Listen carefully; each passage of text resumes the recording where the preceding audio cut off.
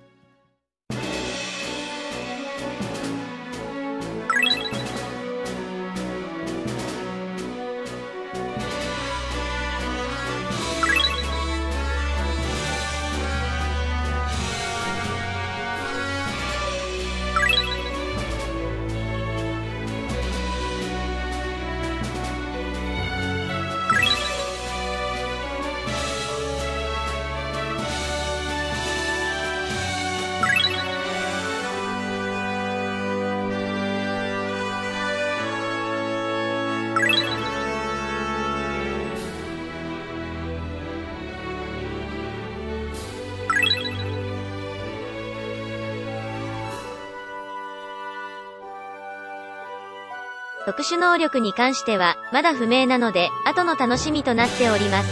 本編終了後に未習得部分は、何を覚えたのかを発表したいと思います。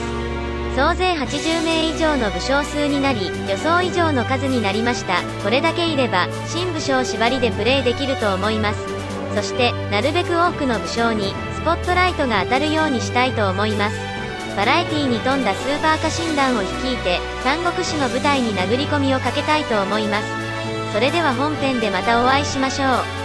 今回の動画は以上です。ご視聴ありがとうございました。